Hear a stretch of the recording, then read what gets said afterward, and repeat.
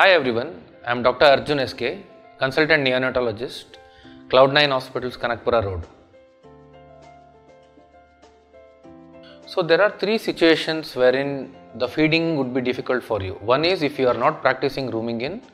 Second, it can happen if mother is having some symptoms in the form of mother requiring hospitalization or mother is having little more symptoms of uh, cold and cough.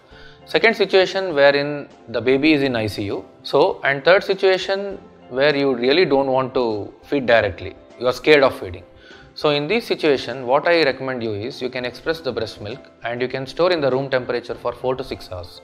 So before expressing, make sure you clean your breast properly and also maintain proper respiratory hygiene and wash your hands thoroughly before uh, planning to express the milk.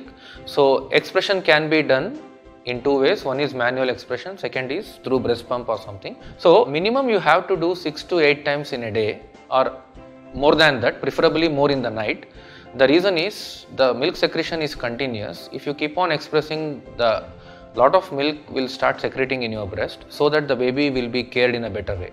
Okay, and by expressing the milk, you are giving the antibodies or protective antibodies to the newborns so that the newborns will also get immunity from your milk. Second is the bonding will increase between you and the baby. Third thing is the chances of clogging of milk and blocking the ducts in the breast and followed by infection can be prevented. So, if you are not ready to feed, kindly express the milk with taking all the safety precautions and that milk can be given to the baby through palada or katori kind of thing.